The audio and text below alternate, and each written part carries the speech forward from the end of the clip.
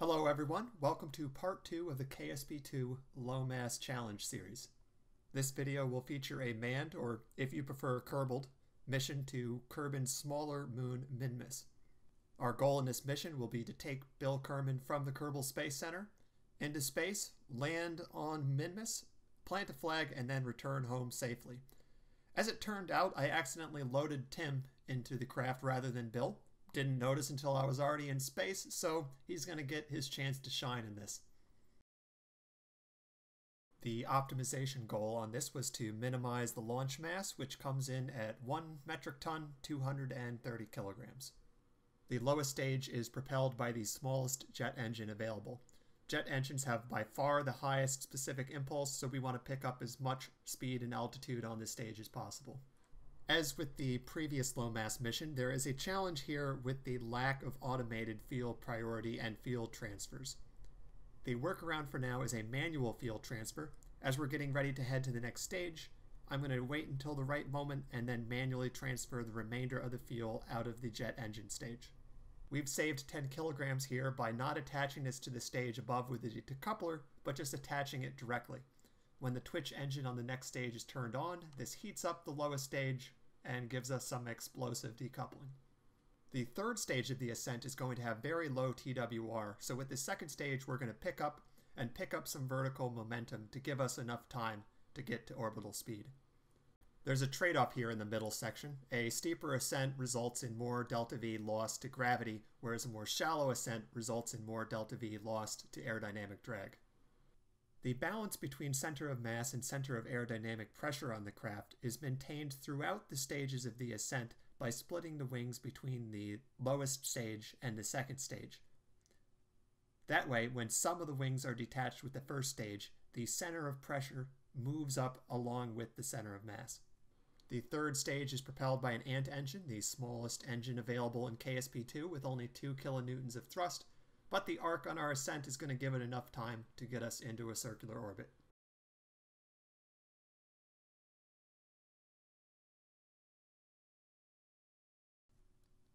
With 675 meters per second of delta V remaining, we have an elliptical orbit with an apoapsis above the 70 kilometer mark, which marks the top of Kerbin's atmosphere. We're going to wait until we get near that point to finish our burn into a circular orbit.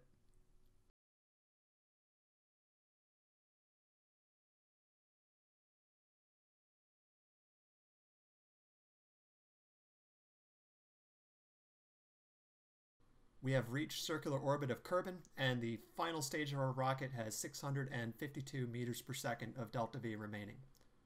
As those who have gone to Minmus can attest, this is not enough delta V to get to Minmus, much less get to Minmus and return home. Those who saw the low mass challenges that we did in Kerbal Space Program 1 probably know how we're going to make up this gap, so let's start sending the rocket on its way to Minmus. From a low Kerbin orbit, we're going to start burning into an increasingly elliptical orbit of Kerbin. We've split this maneuver into multiple burns at periapsis to increase efficiency.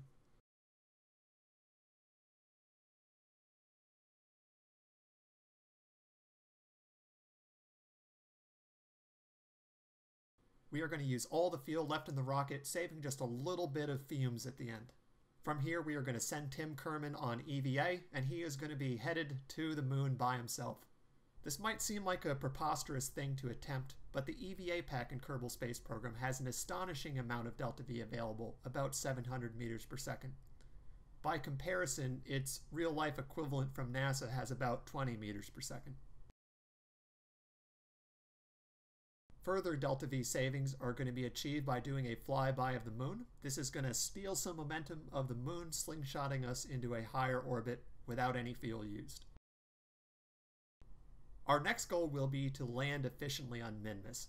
Whether we're landing a giant space plane or a single Kerbal with an EVA pack, an efficient landing is all about getting as low and as fast as possible and doing as much of our maneuver as possible at a low altitude.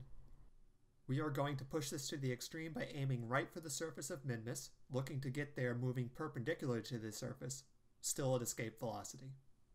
In Kerbal Space Program 1, some rather silly lunar landings were possible with a Kerbal.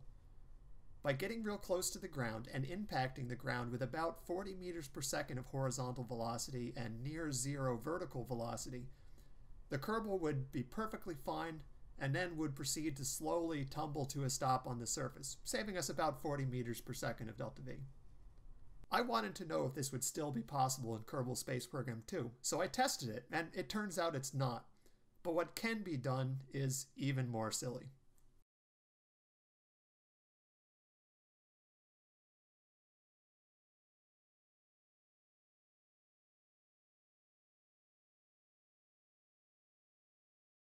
With all apologies to those struggling to suspend disbelief, it's not silly if it works.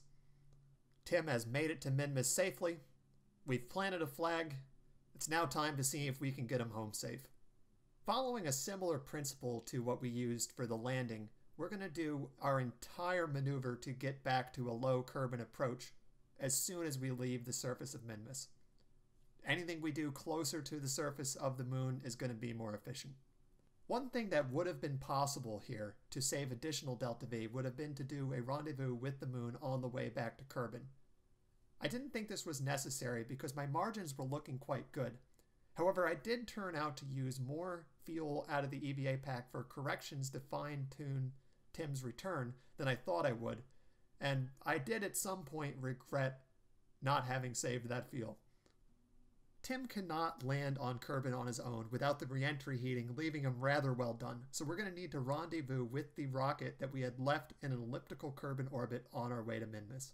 Our return from Minmus has left our elliptical orbit of Kerbin quite a bit higher than that of the rocket, so we're going to take many passes through Kerbin's atmosphere to slow down, making sure that we only graze the very top of the atmosphere to avoid overheating.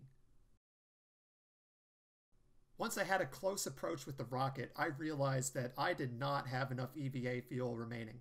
There was enough to do a couple very fine corrections, but not enough to retro burn and cancel out our relative velocity.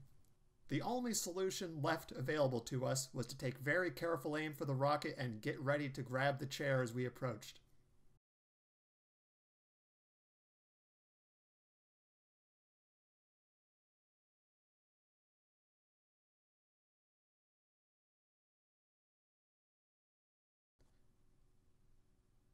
It's now time to land on Kerbin. Tim is safely back in the rocket, which, as is tradition here, has no landing gear, no parachutes. We're still in an elliptical orbit of Kerbin, but using the tiny amount of fuel that had been left in the rocket earlier, we're able to drop our periapsis right below the 70 kilometer mark. Just like we slowed down to rendezvous with the rocket, we are going to slow down to a circular low Kerbin orbit over many successive orbits.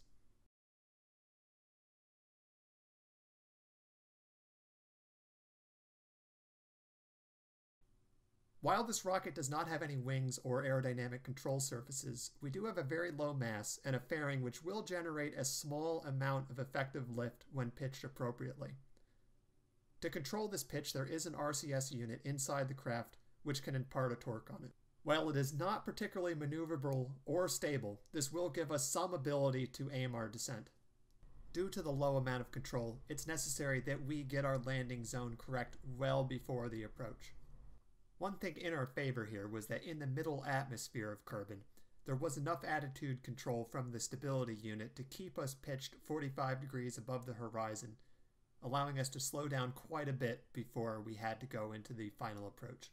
On the unfortunate side of things for our pilot, testing had determined that there was no way for this rocket to remain intact on a landing on Kerbin, whether it was set down on land or on water, and regardless of what speed it was going at, it would be destroyed on landing.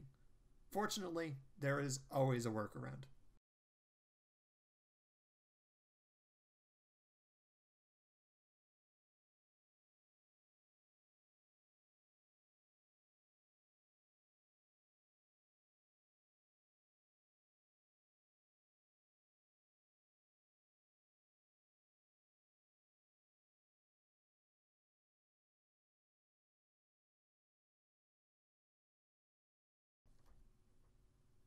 Kudos to the Kerbal Space Center on this one. Kerbal Space Program 1 had a swimming pool that had imitation water in it. Attempting to land in it just resulted in hitting the bottom as if nothing was there. So I'd call this a win. Space program budget well spent. That brings this mission and the second installment in our low mass challenge series to an end. Please like and subscribe if you want to see more. I can't wait to show you guys the next installment in this series. Thank you everyone very much for watching.